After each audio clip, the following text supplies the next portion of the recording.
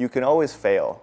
You can fail at something you don't love, so you might as well fail at doing what you love. It, the sad truth isn't that you'll fail. I think that if you build a startup and you really work towards it on a long enough time horizon, you'll probably be able to make something and make somewhat of a living. But the sad truth is it just won't be super eventful many days. Many days will just be really boring. I worked my whole life, eight years of my life, startups, eight years, zero, zero, zero, just failing, failing, failing.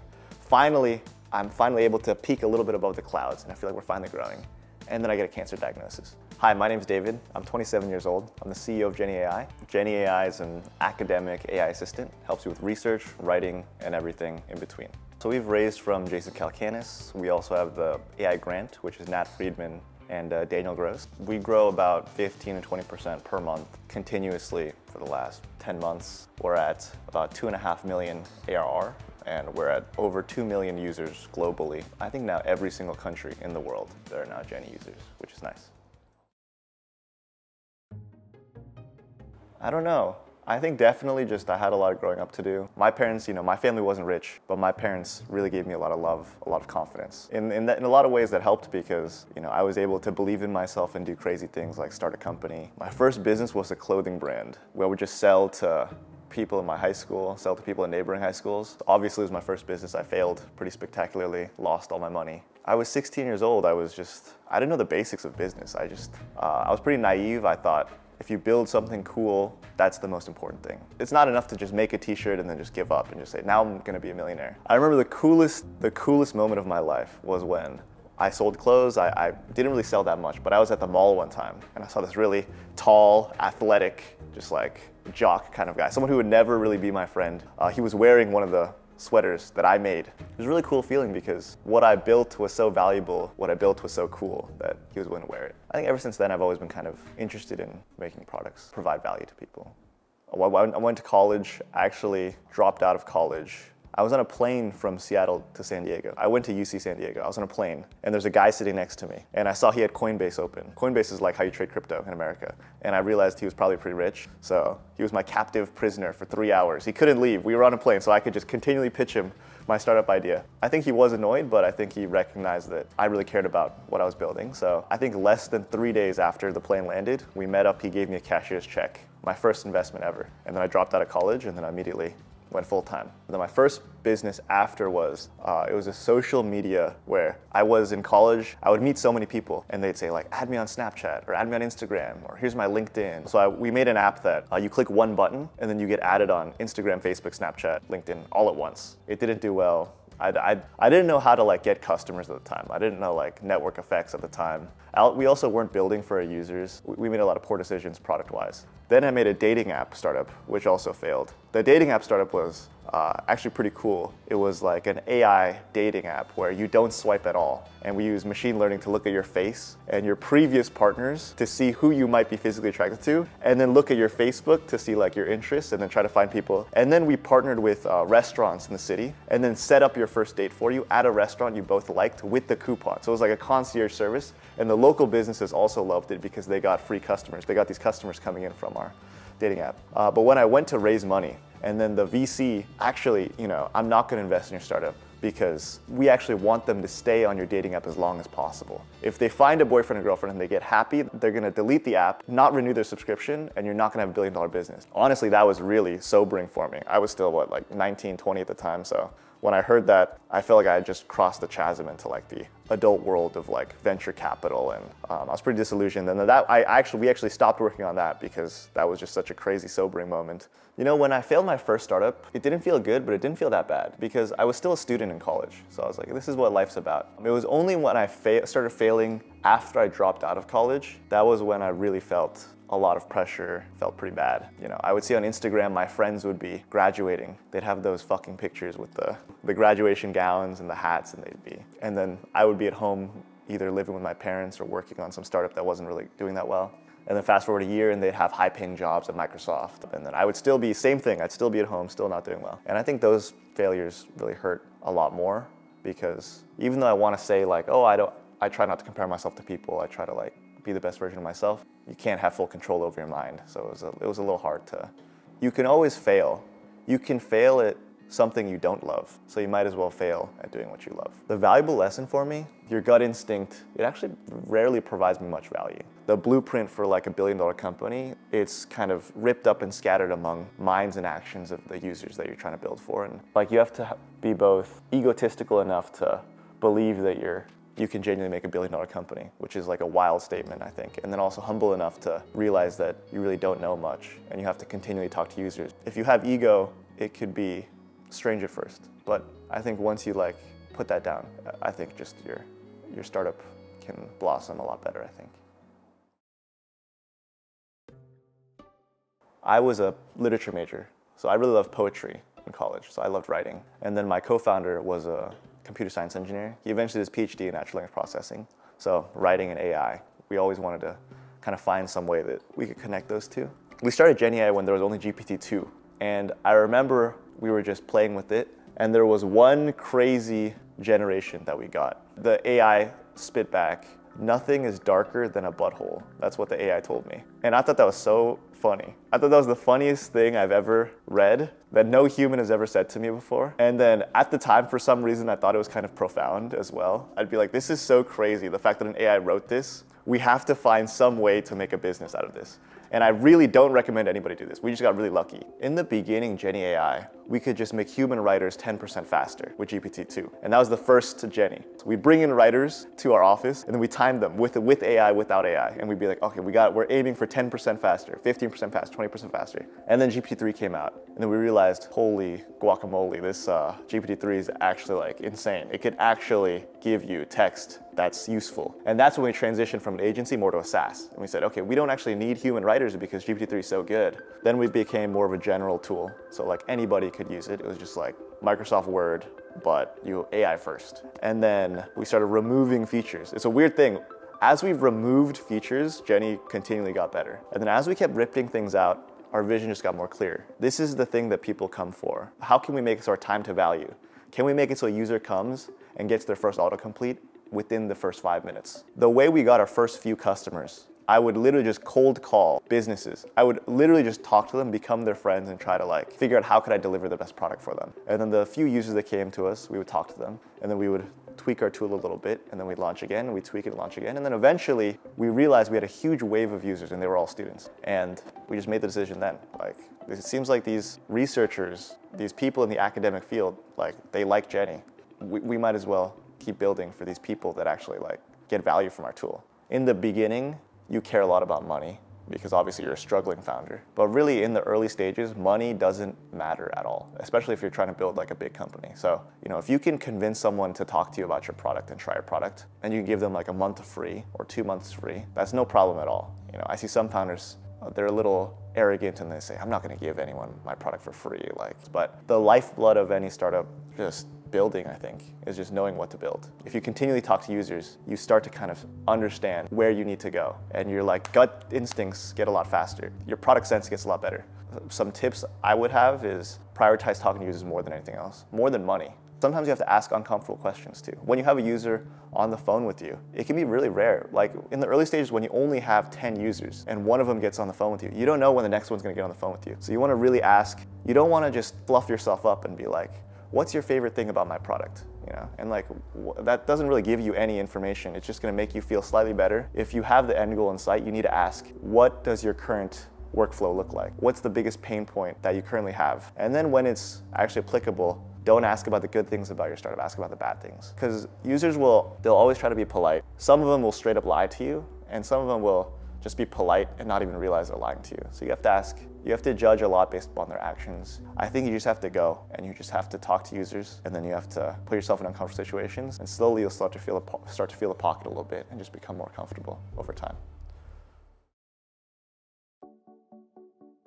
When you're an early stage startup, you have nothing going for you. You will take any call. I remember when I was really struggling, I would even respond to those spammy LinkedIn messages I would get, where they're clearly just messaging a thousand people, but I would even respond to them because I just needed anything. I needed, I needed anything because we were struggling so much. And I remember one time I got invited to a podcast. Very, very few people listen to this podcast. And I think out of the listeners, one out of the very small pool of listeners happened to be a scout for Jason Calacanis. And then the even crazier luck was they sent me an email saying, hey, we want to meet with you, possible investment. I didn't see the first email. I ignored the first email. So that, that, that was really unlucky. And then they actually decided to send another email. I responded to the second email. They decided to put 100K. I remember when I first got it, I went to my grand, grandpa's house. And then, uh, you know, we were like, holy, you know, I mean, we were just swearing in Korean, just like 100K. I, I remember I took a screenshot. I've never seen that much money in my life. I took a screenshot of it and I just stared at it all the time. And it was so crazy.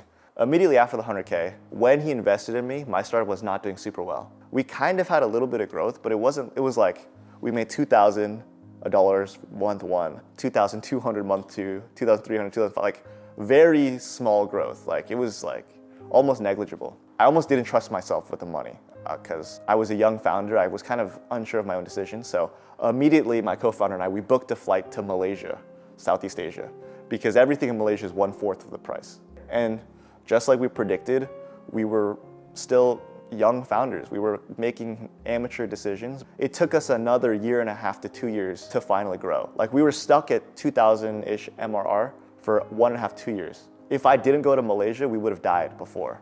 And then it was a one and a half, two years of just continual failure. And I remember the craziest story ever. I got invited to something called KSGC, K Startup Grand Challenge. And if you get top 10, you get make a lot of, you, you win some money as well as a competition. So I went to Korea, we were really low on money. And I was able to get a VC to invest $250,000. It was pretty much a done deal. But then I also, there was this girl I really liked. I really liked this girl. And I had a meeting the next day with this VC that he was gonna invest in us. And then just because I was dumb, I was like, it's okay, I can just, you know, stay out late. I, I stayed up really late with her. I came back, I realized there was some document I needed to fill out. I opened it, I realized it's in fully in Korean. And my Korean's like, it's okay, but I can't like do a legal document in Korean. So then I'm doing like the most ugliest like Google Translate trying to fill this document before my meeting at 9 a.m. I finish at like 3 a.m. I barely sleep. I wake up at 8. I get there. I'm late to the meeting. That night he sends me an email saying, actually, I, we don't, we're not gonna invest. We don't think that this is the right fit. That night, because we were two months away from dying. We were two months away from dying. And I had a team. I had one software engineer. Either his wife was pregnant at the time or they just had a baby, I realized I had a lot of responsibility and I really messed it up. I cried pretty hard that day. That was like one of the worst days of my life. But luckily I was able to make some last minute calls. There was a VC that was interested before that I was able to get to come in, give us a little bit of runway, which gave us just enough time. But the moral of that story is why do entrepreneurs be entrepreneurs? Right? We want to avoid the nine to five. We want to feel free. We want to live life on our own terms. And I had a lot of that. You know, I thought these VCs, they're lucky to invest in my startup. I'm, I'm doing very well. It, it, doesn't, it doesn't matter. But to be honest, being a founder is probably, you have to be probably even more so disciplined. You have to be even more disciplined than the person, you know, waking up every day, showing up to every meeting because there's an insane amount of responsibility the people who join your startup, they bet on you. All of the people that join my startup, they could get prestigious jobs anywhere. There's a lot of people relying on you, and I really messed it up. It's just important to like, you take on all this leverage, you take on all this risk, so it's important that you act like it, I think. I remember I was sitting at home, it was late. I'm kind of a night owl, so my co-founder was asleep. It was around like 11 p.m. Suddenly our site starts going crazy. I see like every time I refresh the page, every second 10 users would come to Jenni, every second. Jenni's actually included in one of the most viral Twitter threads in history. I think it's actually the most viral Twitter thread in history that has to do with like AI or has to do with startups. It is the most viral Twitter thread. And we had OpenAI credits at the time. And we had a limit of, I think, like 1,000, 5,000 OpenAI credits, which at the time was a lot. I think within one hour, we lost all the credits. The users used all the credits because we had such a crazy influx. And then I'm calling my co-founder. He's not waking up. I remember I was like, just swearing at him on Slack. I was like, wake the this is our big break. We have to like capitalize on this. I was just handling intercom, messaging every single person, trying to save every single person. Hey, we're not available right now, but can you give me your email? We'll let you know when we're available because I, I didn't know if this was a one-time thing or this was gonna be a sustained thing. That was the first time we ever had the feeling of like some semblance of success. Because raising money doesn't feel like success. It feels like, okay, now the job really starts. Now we have, we can really get our hands dirty. After that first initial growth, I was, I was preparing my heart. I was like, okay, there's no way that we can continue growing like this. That was the most viral Twitter thread ever. Like, there's no way we can continue this growth. But, you know, we'll continue our best and we'll continue slowly. But it didn't stop. Every month, we were able to figure out some new distribution or growth tactic. And it just, the growth has been super awesome.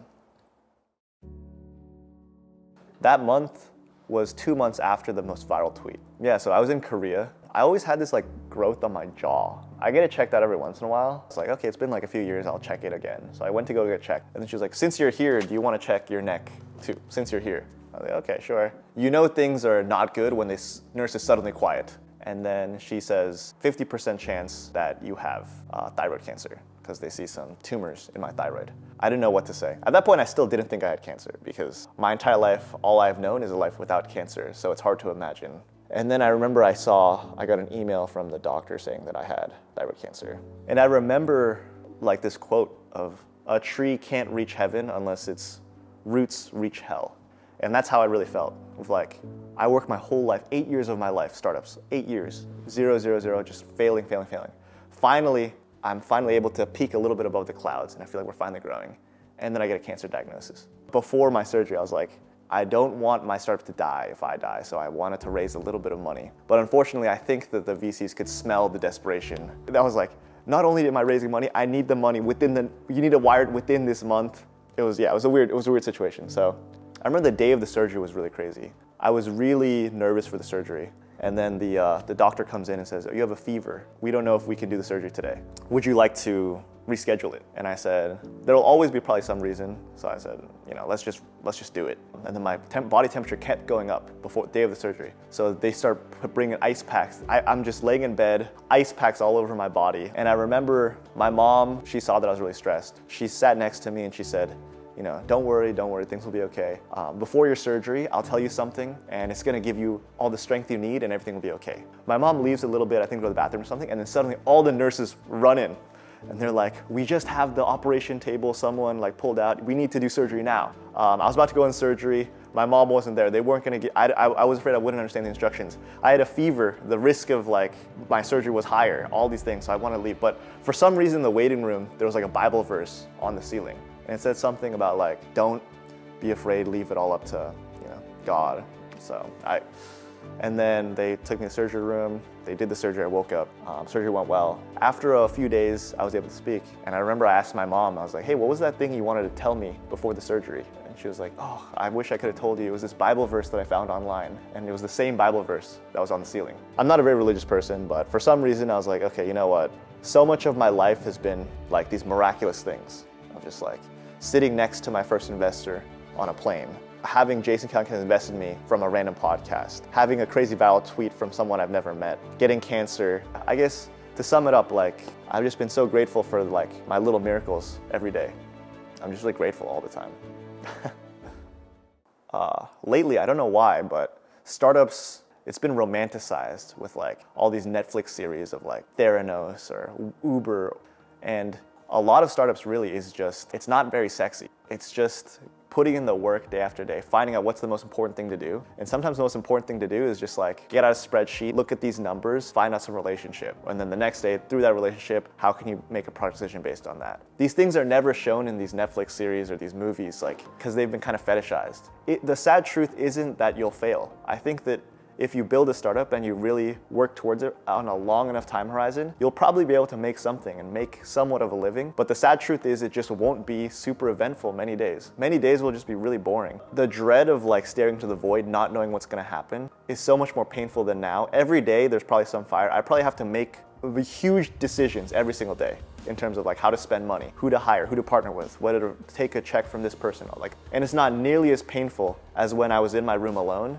and it was just super boring and I had to do like these boring things. I had no idea what to do and it was just like not even eventful. So um, I guess my advice is like, just be ready. Just be ready for the many years of putting in the hours, putting in the reps. I wish you the best of luck, I guess, yeah.